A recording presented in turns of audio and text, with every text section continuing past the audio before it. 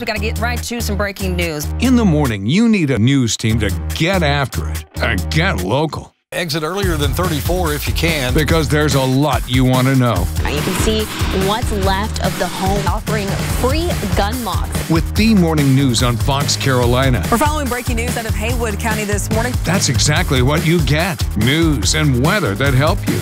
More local. Five mile backup right now. All the way till 10 a.m. Fox Carolina.